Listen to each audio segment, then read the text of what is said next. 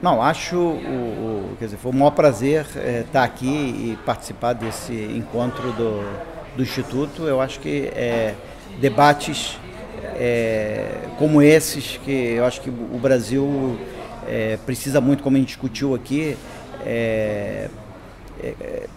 consolidar os princípios e os objetivos que a gente quer alcançar. Né?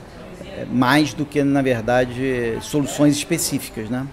É, e eu acho que esse é, encontro, apesar de a gente estar discutindo um tema específico, é, ele foi muito rico no sentido de da gente explicitar e começar a solidificar cada vez mais quais são os princípios é, é, que estão por trás. Né? Eu acho que o Instituto faz um trabalho extremamente importante de tentar é, chamar a atenção de que toda política social, toda atuação do, do Estado, ela tem por objetivo, na verdade, operacionalizar certos objetivos, certos princípios. E, às vezes, isso fica uh, uh, obscuro. E eu acho que esse encontro buscou, na verdade, explicitar isso. Eu acho que foi bastante bem sucedido nessa direção.